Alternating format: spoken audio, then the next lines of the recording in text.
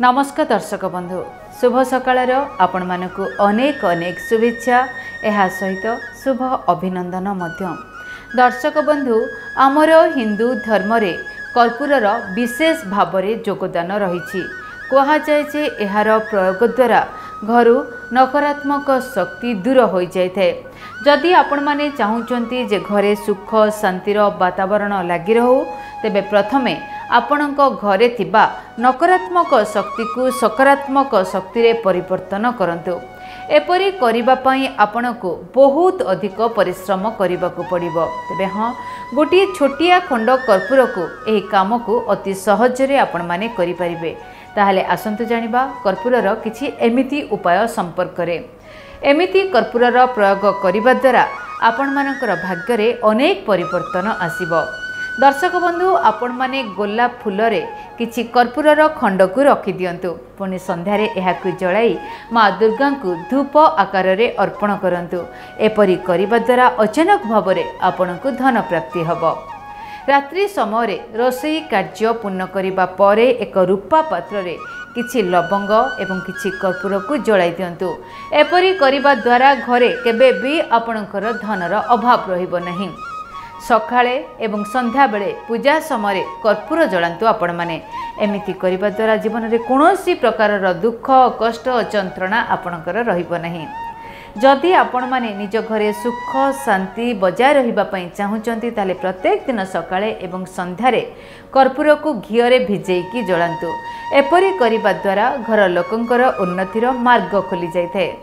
ଗାଧୋଇବା ପାଣିରେ କିଛି ବୁନ୍ଦା କର୍ପୂରର ତେଲ ପକାଇକି ଗାଧନ୍ତୁ। ଏପରି କରିବା ଦ୍ୱାରା ଆପଣଙ୍କର ଭାଗ୍ୟୋଦୟ ହୋଇଥାଏ ଭାଗ୍ୟ ମଧ୍ୟ ବୃଦ୍ଧି ପାଇଥାଏ। ଯଦି ଆପଣଙ୍କର କୌଣସି କାମ ସଫଳ ହେଉନାହିଁ ତେବେ ରୂପାପତ୍ରରେ ଲଗାତାର ଭାବରେ ଆପଣମାନେ କିଛି ଲବଙ୍ଗ ଏବଂ କର୍ପୂରକୁ ଜଳାନ୍ତୁ। ଆପଣଙ୍କର ଯାହା କିଛି କାମ ଅଟକି ରହିଛି ସେ ସବୁ କିଛି କାମ ସହଜରେ ସମ୍ପନ୍ନ ହୋଇଯିବ। ବାଥରୁମ୍ରେ କର୍ପୂରର ଦୁଇଟି ବୁନ୍ଦା ଆପଣମାନେ ରଖନ୍ତୁ। ଏହାଦ୍ୱାରା ଦେବଦୋଷ ପିତୃଦୋଷ ମଧ୍ୟ ଦୂର ହେବ। ପ୍ରତ୍ୟେକ ଦିନ ସକାଳେ କୌଣସି ଗୋଟିଏ ପାତ୍ରରେ କିଛି କର୍ପୂର ଅବଶ୍ୟ ଜଳେଇକି ଆପଣମାନେ ଘରର ମୁଖ୍ୟ ଦ୍ୱାରରେ ରଖନ୍ତୁ। ଏପରି କରିବା ଦ୍ୱାରା ଘରେ ସକାରାତ୍ମକତା ବୃଦ୍ଧି ମଧ୍ୟ ପାଇବ। ଦର୍ଶକ ବନ୍ଧୁ ଯଦି ଘରେ ଏମିତି କିଛି ରୁମ୍ ଅଛି ଆପଣଙ୍କର ଯାହାକୁ ଆପଣମାନେ ବହୁତ କମ୍ ବ୍ୟବହାର କରୁଛନ୍ତି ତେବେ ମୁଁ ତ କହିବି ସପ୍ତାହରେ ଅତି କମ୍ରେ ଗୋଟିଏ ଥର ଆପଣମାନେ କର୍ପୂର ଜଳାନ୍ତୁ। କର୍ପୂର ବାସ୍ନାରେ ସବୁ ପ୍ରକାରର ନକାରାତ୍ମକତା ଦୂର ହୋଇଯିବ।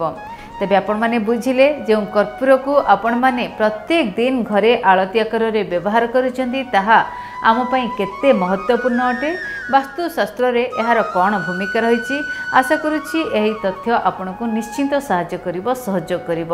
ଆପଣମାନେ ମଧ୍ୟ ନିୟମିତ ଭାବରେ ଘରେ ଏହି କର୍ପୂରକୁ ଜଳାନ୍ତୁ ଦେଖିବେ ସୁଖ ଶାନ୍ତି ସୌଭାଗ୍ୟ ସମୃଦ୍ଧି ସବୁ କିଛି ଆପଣମାନଙ୍କର ବୃଦ୍ଧି ପାଇବ।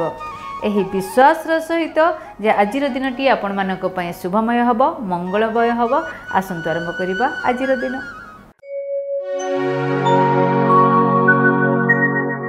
ଘରେ ଟେନସନ୍ ବାହାରେ ବି ଟେନସନ୍। ପୁଅର ଚାକିରି ପାଇଁ ହଉ ଝିଅର ବାହାଘର ପାଇଁ ହଉ।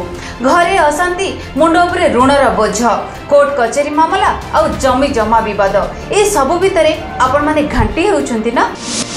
ଏହିସବୁ ଟେନସନରୁ ମୁକୁଳିବାର ରାସ୍ତା ଖୋଜୁଛନ୍ତି କି? ଜାଣିବାକୁ ଚାହୁଁଛନ୍ତି ଆପଣଙ୍କ ସମସ୍ୟାର ସମାଧାନ କେବେ ଏବଂ କିପରି ହେବ? ଦେଖନ୍ତୁ ଭାଗ୍ୟଚକ୍ର। ଆପଣ ସମସ୍ତ ପ୍ରଶ୍ନର ଉତ୍ତର ପାଇପାରିବେ ଆମ କାର୍ଯ୍ୟକ୍ରମରେ। ଭାଗ୍ୟଚକ୍ର। ପ୍ରତି ମଙ୍ଗଳବାର ଗୁରୁବାର ରବିବାର ରାତି ନଅଟାରେ କେବଳ ଡିଟିଭି ଓଡ଼ିଆରେ। ଡିଟିଭି ଓଡ଼ିଆ ଦେଖିବା ପାଇଁ ସବସ୍କ୍ରାଇବ୍ କରନ୍ତୁ ଏବଂ ବେଲ୍ ଆଇକନ୍କୁ ମଧ୍ୟ ଦବାଇ ଦିଅନ୍ତୁ।